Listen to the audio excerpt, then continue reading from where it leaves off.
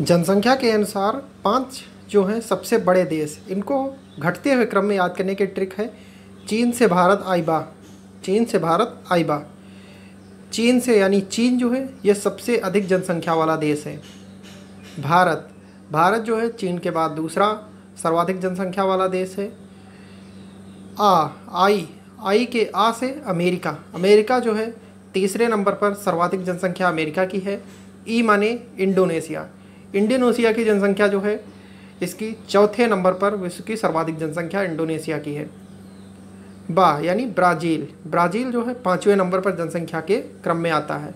तो सर्वाधिक जनसंख्या चीन की, उससे कम भारत की, भारत से कम अमेरिका की, अमेरिका के से कम इंडोनेशिया की और इंडोनेशिया से कम ब्राज़ील की।